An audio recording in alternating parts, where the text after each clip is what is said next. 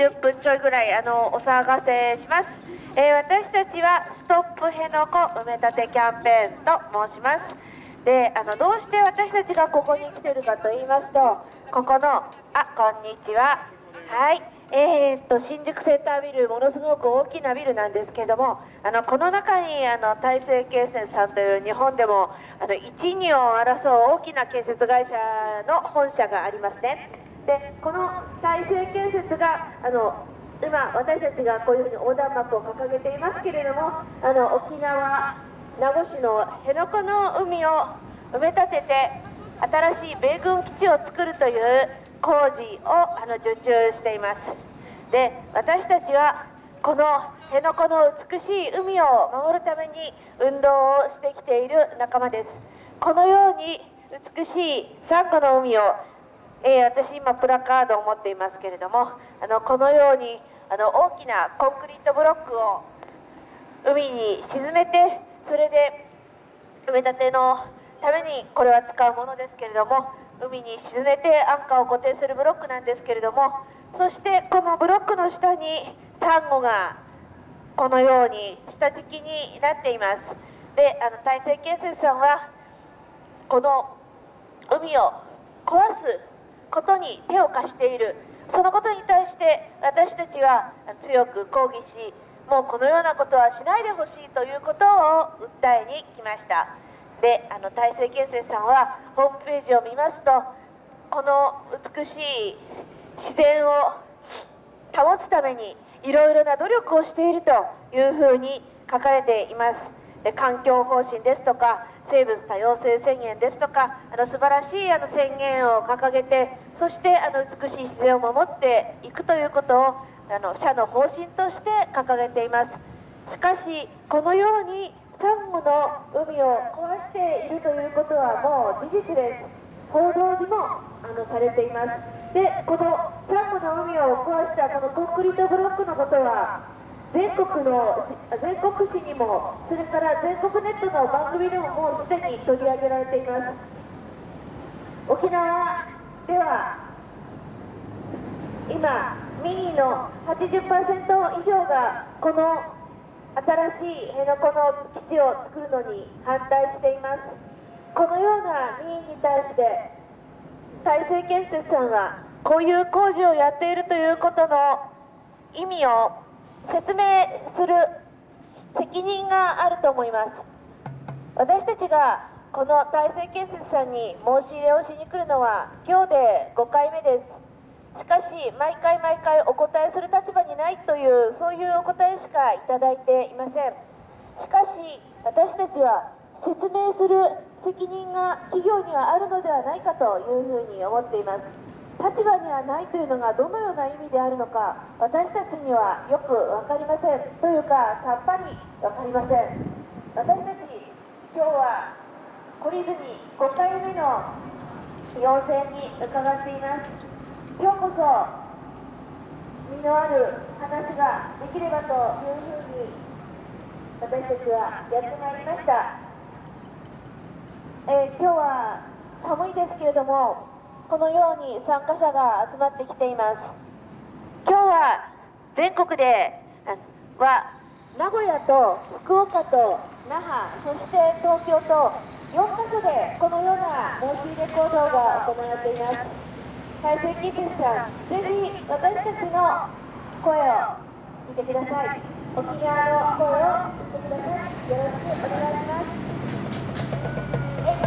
今日の要請文について簡単に説明します。あの今日の要請文なんですけれども、新しい項目、あのアンあのアンカーブロックの件の以降の、あの沖縄の報道で、えっと、中敷き護岸工事というのを大成建設が引き続きあの受注することが分かりましてそれが145億、まあ、どっちかというと156億のものが新しく決まってます。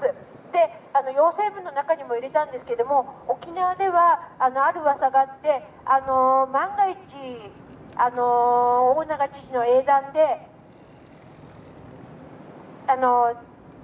なんだあの埋め立て取り埋め立て承認の取り消しがあった場合あの賠償を請求するためにどんどん次から次へと受注を決めているではないかという噂があります。でそのこともあの行政文の中に書きました。あんたたちそんな卑劣なことするのかと。それは事実なのかと。いうことですね。でその辺も合わせて、えーと、聞いてみたい聞いてみたいというか要請事項に入れました。そんな卑劣なやり方をするのかと。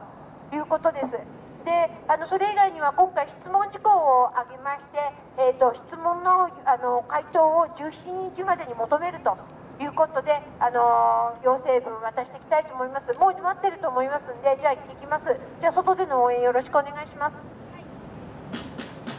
え、え今日あの2人の仲間があの今からあの要請に行きます、えー、それでは拍手で送り出しましょう頑張れ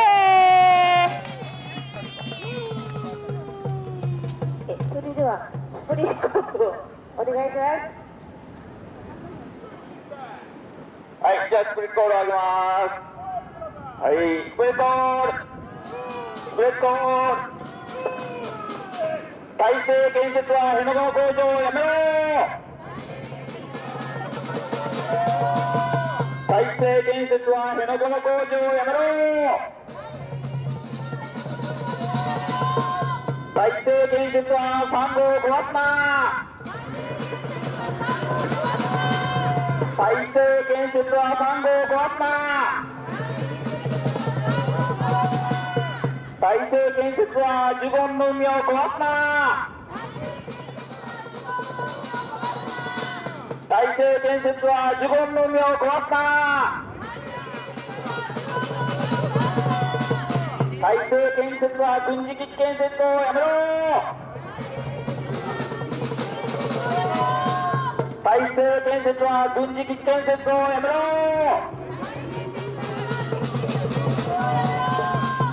再生建設は辺野古の海を守れ。再生建設は辺野古の海を守れ。再生建設は沖縄の声を聞け。再生建設は沖縄の声を聞け再生建設は我々の声を聞け再生建設は我々の声を聞け我々の問い。に真摯に答えろの問いに真摯に答えろ。再生建設は工場を直ちにやめろ。再生建設は工場を直ちにやめろ。あの人違うの？あの人は仲間ですか？いや知らない。ち違う、はい、ありがとうござい。ました俺も別に仲間じゃないけど。えっとでは、えー、ちょちょっと入らない。ダメなのね。どなたかはいまでですで再生建設に向かってアピールがある方マイクを開放しますので。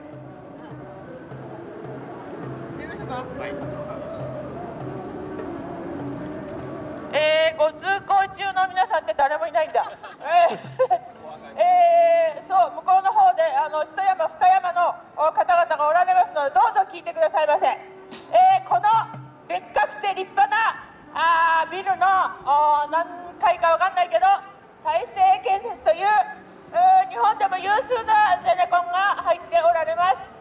で、えー、ゼネコン普通のお仕事をしてるんであれば別に大きな問題はない、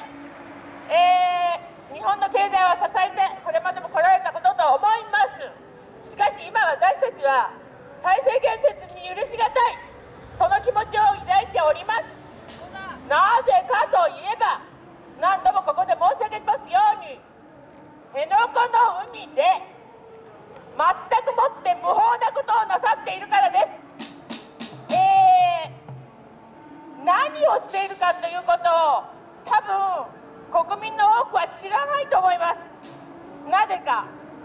辺野古の問題について、えー、マスコミがきちっと報じないそのために辺野古の海でめちゃくちゃなことをされているということを全然わからないまま国民が過ごしているのは本当言うと民主主義の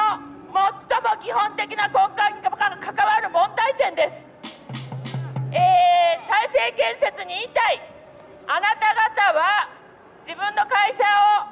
えー、多分世界に冠たる体制建設と言いたいと思います、えー、それであってほしいです。それには自分たちの企業イメージというものがどれほど大切かということは、えー、資本主義の論理にのっとれば、えー、最ものことです。そしてここで何度もか申し上げているようにあなた方の企業のモットーは地域の住民の皆さんの意向と反しないように自然と調和する。そういう大きな使命を担われている会社だと言われております。それはあなた方が公表しているイメージです。そうだ。本当に嘘つけなんだよ。えー、にもかかわらず真逆のことをやられているということが分かってしまった以上このことをなぜそう自分たちの企業が掲げてい。るモットーと違うことをするのかということを疑問に思った人々に対して説明する義務がありますぜひそのことを教えていただきたいあなた方のところに何度も何度も質問状を届けていますが答える立場にないんだったら答えられる人が出てきなさいこれだけ何度も来ても答える立場にないということを言い続けるということはあまりにも不誠実です。それは単にあなた方がでっかい企業で私たちがこのように虫けらのように小さいからだとしたらばあなた方のやってることは全くもってァシズムファシスト全く民主主義のルールから外れます私たちがあなた方がやっていることをきちっと見ているということをお知らせしますよ。多くのマスコミには流れていませんがあなた方が、えー、決められた工事範囲から外れたところに巨大なブロックをぶち込んでいるっていうことはもう写真に撮られてしまっています。もう隠しようがありません。えー数日前、昨日おとといだったと思いますが、えー、尾長知事の要請で調査が入りましたね、見ましたよ、あのでかいコンクリートブロックがサンゴを押しつぶしておりました。皆さん、サンゴって生き物なんですよ、石じゃないんだよ。サンゴをそのものをぶっ潰してしまったらばそこは単なる砂地になってしまい生き物は生きられなくなります。サンゴというものはそもそもその海の一つの生態系の中の基本です。それをぶっ潰してしまった後に残るものはサンゴの死骸だけだとしたらそこには魚も寄りつかずもちろんジュゴンも寄りつかない。そんな海にあなた方はしているんですよ。全くもって許しがたい。サンゴの再生にはどれだけ長い期間がかかるとお思いでしょうか。1年2年で回復はできないのですよ。かつあなた方がぶち込んだコンクリートブロックにはチェーンがついてます。金属製のチェーンがついてます。そのチェーンがサンゴを潰すのではなくて砕いちゃっているんですよ。あなた方自分たちのやっていることは何だか少しはね目を覚ましなさい。あなた方自分は答える立場がないとしたらばいちいち今回だって今日私たちがここに来ることが分かっているはずです。なぜならあのようにたくさんの方が来ておられますしここには早々と立っておられる方もおられます。私たちが来ることが分かっています。だとしたらば今日の午前中になぜ答えられる人を呼んでおかなかったのでしょうか。ぜひ答えられる人を前面に立ちなさい。それをやらないで無法なことを続けるとしたらば大成建設は今後どれだけ立派な企業になったとしてもそれの沖縄でやられたあなた方の悪行について子々孫々伝えられますよ。いいのか？建設会社は確かに今までだってはっきり言えばとても褒められてないよ。日本全国山を崩し川を埋め海を埋め立てそして作ってきたものそれは箱物と言われて後に何も残んないようなものを作ってきた。しかしそれも方なかったかもしれない。今まではなぜならば経済成長のために幾分なりともその必要性があったことは認める。それが建設会社というものであったということは認めます。しかし沖縄でやっていることは何の生産性もないということにおいて絶対に認められない。そのためにはまずもって違法なコンクリートブロックの投下をやめなさい。さらにそれによって傷つけられたサンゴを生き返らせるためにはブロックを引き上げなさい。ここまで再生建設の社社税というのかな、えー、会社のルール。それを守るためそしてそれを国民に知らせるためにまずもってあなた方はコンクリートブロックを撤去しかつ今回の辺野古の新基地の建設から手を引きなさい。あなた方が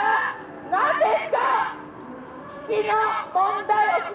題沖縄について何度も何度も工事を受注しているということは何やら打ち止があるんではないかというふうに私たちは憶測せざるを得ないそれぐらい国民は不信感を抱いているそういうことにおいてあなた方がこのビルからゴロゴロと転が落ちる前に沖縄での責任を果たしなさいそのためにまず言い。たいまず辺野古での無謀な工事をやめてください。そして今まで打ち込んで壊したサンゴに謝れ。サンゴに謝れ。そしてジュゴンに謝りなさい。あのねジュゴンって賢い動物なのよ。あなた方ねその辺で椅子に座ってこっちを眺めてるようなボンクラ頭よりもよっぽどジュゴンの方が頭がいいんだよ。ジュゴンはね生態系が崩れたようなところには戻ってこない。だから私たちは心配しているのですよ。ただ一頭のジュゴンが生息するかしないかによってその海の豊かさが図られます。これは日本だけではなく世界も注目しています。そういう点において大成建設はまず頭を冷やしなさい。そして沖縄の基地建設から手を引きなさい。そして今までやった不法行為を改めて即刻ブロックを引き上げなさい。いうことは山のようにありますが何度も来て言いますから1回に全部言っちゃうということがなくなりますので本日はこれでおしまいにいたしますはい、ありがとうございました。えっ、と今申し入れに行った代表が戻ってきましたので、えー申し入れの様子を報告していただきます。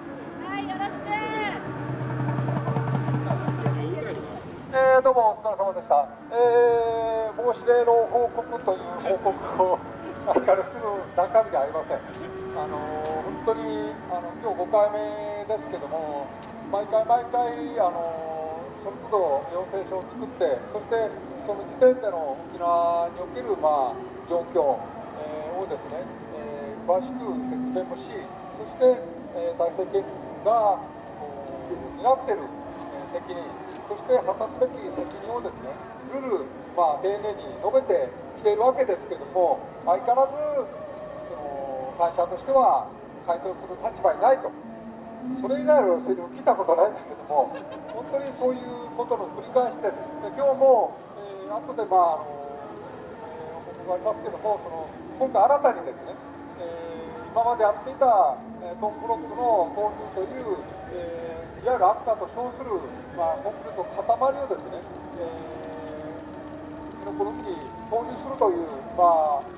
作業はついに、まあ、完了してしまいました、えー今、現にサンゴが破壊されているという、非常に悲しい現実があるわけですけども、えー今度はそれこそ本当に本体工事につながるというか、本体工事一部であるところの南下仕切り護岸工事、これは非常にかなり大きな広い範囲でですね、えーやる工事であるし、145億円億円ですか、いう、まあ、巨額のですね、えー投入金額が投入される、えーそういう事業も体制建設が受注したと、これははっきり報道されていますし、そうすると、これから先々かけてですね、えー引き続いて体制建設が、この辺野古の梅の埋め立て、そしてそれは米軍の基地建設にですね、本当に直接、主体的に関わると。いうことでありますので、なおさらのこと、えー体制建設の責任というものが大きいということも、今日は新たに説明もしました。したましたが、まあ、回答は、えー回答する立場にないということであります。で、今日は、えー新たに4項目、今までの、え要求をまとめた4項目を、え要求をしてきました。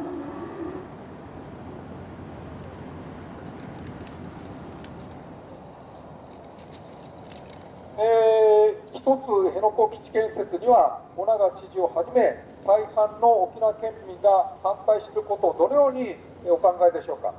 ？2つ、辺野古の海の環境破壊につながる米軍基地建設工事を受け送ったことと、記者が掲げる生物多様性宣言との整合性をどのようにお考えですか？3、記者には多額の税金を投入して行われる公共事業を請け負った企業としての社会的責任、説明責任があるとはお考えになりませんか？4、私たちの要請や疑問に対し、お答えする立場にないとする理由は何ですか？その4項目を、え質問事項として挙げて、そしてこの質問事項について、え具体的に、ええ2週間後の、え3月11日までに回答されたし、えそして、えまあ、いつもそうですが、そこのあの入ったロビーといいますか、その、えーところでこう立ち話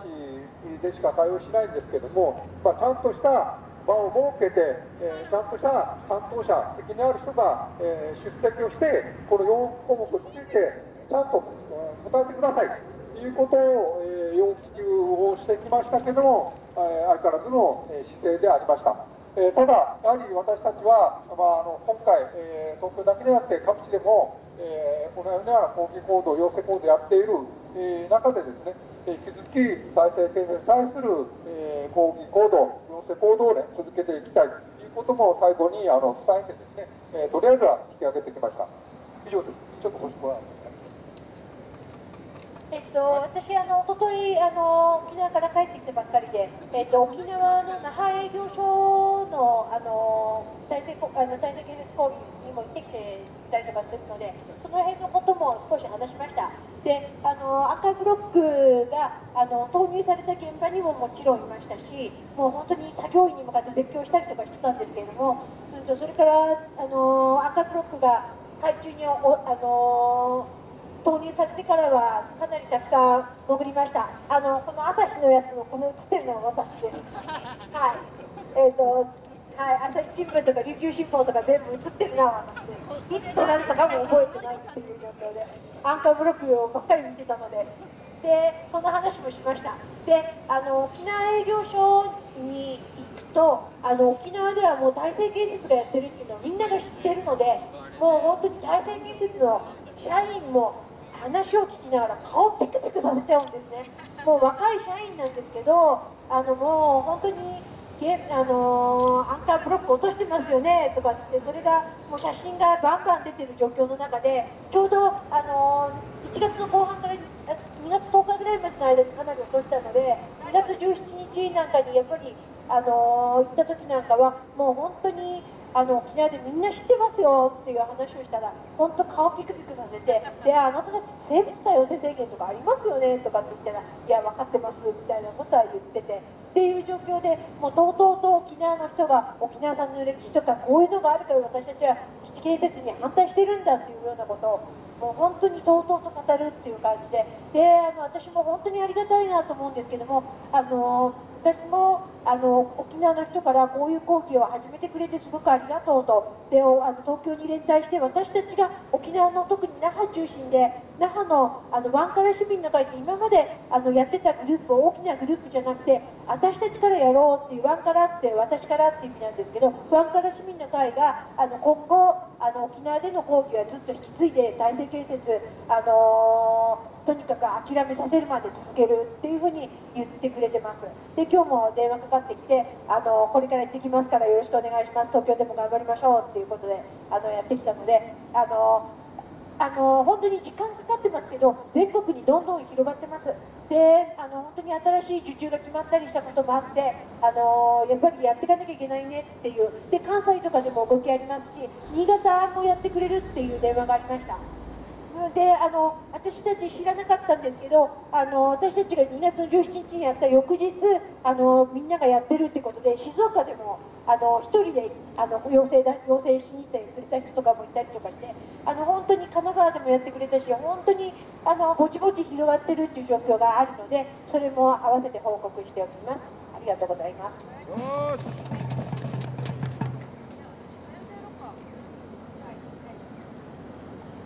えー、私もあの実はあの21日から25日まで沖縄に行ってまいりましてあの皆さんもご存知だと思いますけれども22日にあの山城宏次さんがあの不当にあの米軍に拘束されてで南郷州に送られてそれであの23日に解放されましたがその解放の現場にも立ち会うことができました。今あの非常にあの米軍側がピリピリしてるというのは空気からもあの感じ取れました。であのテントの撤去をあの日本政府があの現場にあの押し付けていることも皆さんご存知だと思います。でもまだあのテントはあの縮小はされましたがあの頑張っているそうです。であのキャプショア前にはあの毎日毎日たくさんの人があの集まってあの工事車両を止めたりあの本当にあの頑張っています。ただあのキャプショア前があの穏やかな時にはあの各地か沖縄各地からそれから全国各地からあの集まった人たちがあの歌を歌ったりあの踊りを踊ったり三振の演奏をしたりそれはそれはあの賑やかなあの素晴らしいあの楽しいあの集まりもやっているんですね。ですからあの本当にそういうふうなあの文化的なことも含めたあの総合的な運動が展開されてるんだなということを今回のつくづくあの思いました。であの私もあの替え歌をちょっと作ってきまして今日はあの体制建設バージョンもあります、えーと皆さんがよくご存知の人はご存知のあの朝のドラマ「マッサンの」あの麦の歌の替え歌あの中島みゆきさんの素晴らしい歌ですけども、えー、ちょっとそれをスマホに歌詞がありますのでスマホを出しました、えー、それではちょっとあの知ってる方は一緒に歌ってください。えー、ではあの1番はキャンプシュワブ前バージョン。はい。2番は体制建設バージョンでいってみますはい。お披露目です。それでは123キャンプシュアブ前のテントに集まって工事車両を止めてゆく毎日命かけ。海に船とカヌー隊フロート越えて今日も行く。解放も防衛局を恐れることはない基地のない基地のない沖縄作ってゆくみんなで歌おう基地のない基地のない沖縄作ってゆくでは2番はバージョンで言っています123大成建設は産後潰してる。コンクリートブロック投げ込みこの海壊してる。命育むこの海沖縄戦の時には命つなぎ生き延びた海の恵み受けて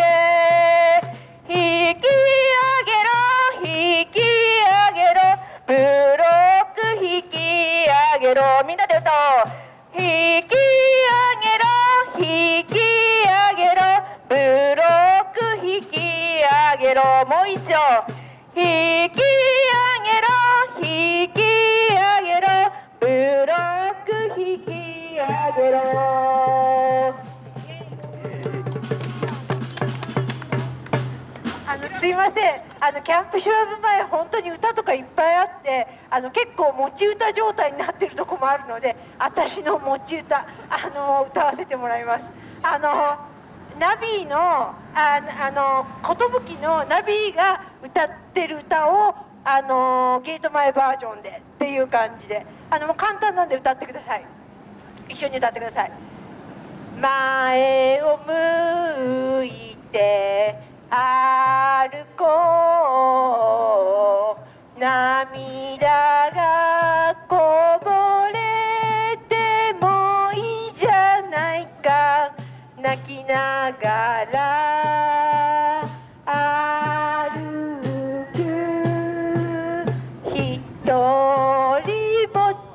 なかった夜。幸せは雲の上にはないさ。幸せはゲート前にあるよ。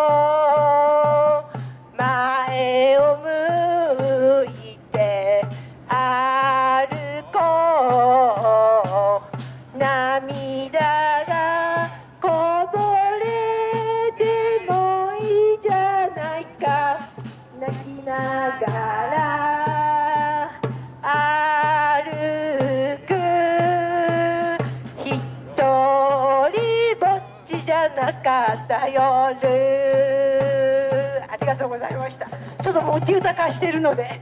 はいお披露目させていただきました。あと何か言いたいことあの体制建設に言いたいこと。はいはい。はい。先ほどすい。ません。何回も。ええ。あ、どうもすい。ません。えー、この大成建設、えー、辺野古に、えー、対する、えー、この、えー、全く無益な、えー、この米軍新基地建設、直ちに、えー、中止を、え、要求しに私も、え、参りましたものであります。はい。えー、やはり、えー、従軍って言いますのが皆さん、従軍皆さん、やはりこれからかけなければなりません。皆さん、体制建設の皆さんも、平和っていうものを、従軍っていうものを皆さん、かけるつもりはないんでしょうか皆さん、体制建設、今まで、この村田多額の公共工事の裏で、この暗躍をしてきた、やはり妨害や、えー、総会やの問題に関してもやはりそのような者たちが見え隠れするこの、えー、事態に対しこの辺野古の新基地建設を直ちに、えー、中止を、えー、要求し、えー、このやはり、えー、辺野古呪言を徹底的に、えー、殺してやはり、えー、生きていこうというそのような種族を直ちに辞任しなければなりませんやはりこれは、えー、呪言を、えー、ダメにするということは人食いの、えー、やはり、えー、やはり、えー、考えであり人種で,、えー、人種であり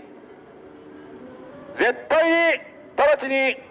ー、体制建設はこれから言う言葉を絶対に肝に銘じて仕事にはぐなければ何かが皆さんあります。皆さんも、えもしよろしければ後で答えてください。東亜に送った公用車。霜降り送って生きてるな。辺野古の十分でもカフェー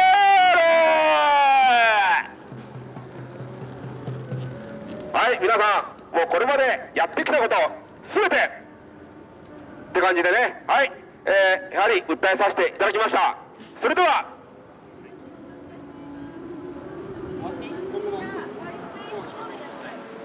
はい。コールで終わっ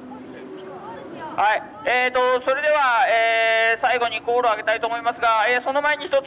えー、先ほどから何人の方も触れられております、え生物多様性宣言、えホームページ、大成建設のホームページに掲げられている生物多様性宣言、これ、あの山内社長、おられますか、え大成建設の山内社長の名前で、え掲げられています。生物多様性宣言には、地域社会とのコミュニケーションを図り、生物多様性の保全活動を積極的に行い、えー、その成果を公表するとあります、えー、私たちが頼んだわけではありません。大成建設の山内社長が、まあ、署名するんで自ら書いたのかどうか分かりませんけどもが積極的にホームページに掲げていることです。えー、私たちが要求したことではありません。大成建設が自ら言っていることです。えー、今やっていることはこの宣言と全く反しています。地域社会とこのコミュニケーションを図っているならばその成果を私たちの前に公表してください、えー、生物多様性を保全している活動を行っているならばその成果と辺野古の今やっていることとの、えー、整合性を説明してください。これは、えー、私たちが要求していることに対するあなた方が答える立場にないという問題では全然ありません。あなた方が答える義務があることです。こうした要求を答えられないのであるならば直ちにホームページからこの生物多様性宣言を削除してください。生物多様性宣言がホームページから削除されない限り私たちはそれに対する答えを求めて何回でもここに行きます。ホームページに自分たちがやらないことを掲げて定期で済ませてるような会社と思われたくないのであれば直ちにホームページから生物多様宣言を削除してください。山内社長山内社長。もう多分任期は3月までで4月から変わられると思いますが本人のいる間に責任を持って生物多様性宣言をホームページから最低削除してください。はい。ほんはい。本当は、えー、宣言通り実施していただくのが、えー、望むところです。はい。それはぜひ実実存していますが、えー、それができないならばそんな嘘を掲げるのはやめてください。そこまで期待してちょっと矛盾していますけどもそこまで期待してないんで。はい。ごまかすのはやめて正直に悪い会社であるということを露出するか心を改めて自分たちの掲げた宣伝文句通りの正しいことを行うか。大成建設に残されている道はその2つに1つです。えー、今言ったそちらのね出している宣言は立派なんだよ。間違ってないの。だからそれを撤回するんじゃなくてあなた方はそれを実行してください、撤回しなくて結構ですから。この通りやって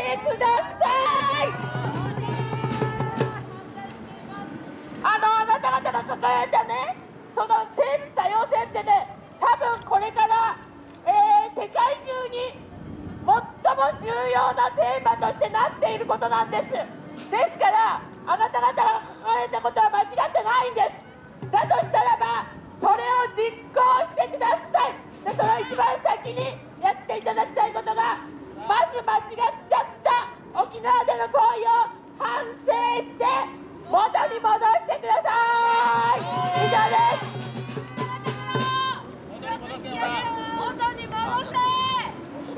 じゃあ、えー、プレコールを上げて今日のこと終わりたいと思います。大成建設埋め立てやめろ。大成建設埋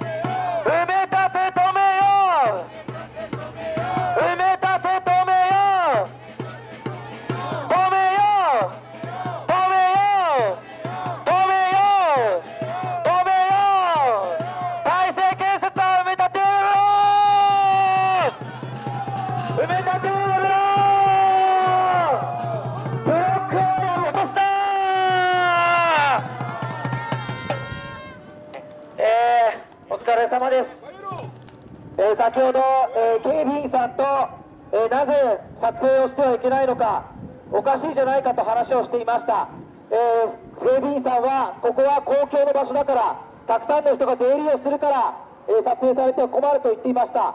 であるならば大成建設の会社の中できちんと応接室を用意してそこに私たちを招き入れるべきではないでしょうか。きちんとした申し入れを対応をすることを、えー、求めていきたいと思います。大成建設は自分たちが工事をやっている。主体であるとちゃんと認めてブロックを回収して